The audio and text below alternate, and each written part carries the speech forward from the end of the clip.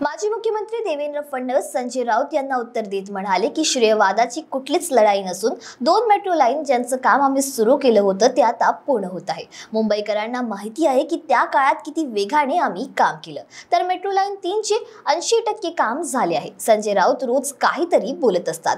अलीकडच्या काळात राष्ट्रवादी काँग्रेस आणि शिवसेने नेते अल्पसंख्यकांचे मत मिळवण्यासाठी चढाओळ लागली आहे अशी प्रतिक्रिया देवेंद्र फडणवीस यांनी दिली.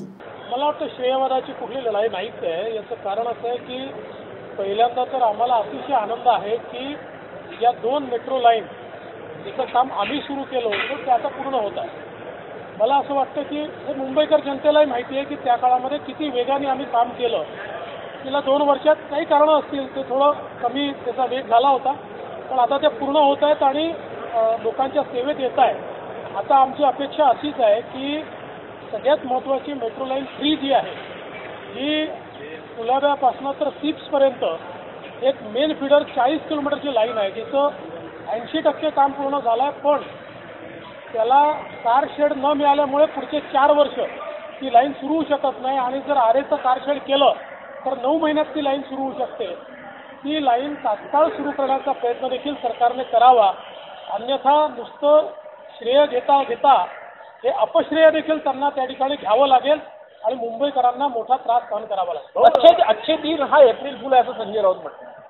संजय राऊत रोज काहीतरी बोलत असतात. तुम्ही महत्त्व देता मी देत नाही. हो अल्पसंख्याक समाजाच्या मेळाव्यामध्ये शरद पवार यांनी तर थोड्यापूर्वीच एक वक्तव्य केलं की शालेय अभ्यासक्रमामध्ये विद्यार्थ्यांमध्ये वीज काढण्याचा प्रश्न भाजप करताय अभ्यासक्रम बदलून मला असं वाटतं की जो काही अभ्यासक्रम आहे हा अभ्यासक्रम पूर्वीपासून चालत आलेला आहे. आणि या अभ्यासक्रमामध्ये वेळोवेळी एक्सपर्ट्सनी काही बदल केलेले आहेत. केवळ अल्पसंख्याकांची मतं मिळवण्याकरता त्यांच्यामध्ये भीतीचं वातावरण तयार करण्याचं काम हे या ठिकाणी काही नेते करतात त्यातला हा शेवटी अलीकडच्या काळामध्ये राष्ट्रवादी असेल काँग्रेस असेल आणि शिवसेना असेल यांच्यामध्ये अल्पसंख्याक मतं मिळवण्याकरता एक चढाओढ लागली ते त्यातनं अशी वक्तव्य या ठिकाणी येतात बाय सब जानना चाहते हैं। मेरा फेवरेट कलर मेरा फेवरेट डेस्टिनेशन मेरी फेवरेट डिश पर कोई ये नहीं पूछता कि फेवरेट डिश मैं बनाती कैसे हूँ। अरे यार जिसे टेस्टी खाना पसंद है वो अच्छे टेस्ट तक पहुँच ही जाता है। सुरुचि मसाले। खाने में हो रुचि तो घर लाइए सुरुचि।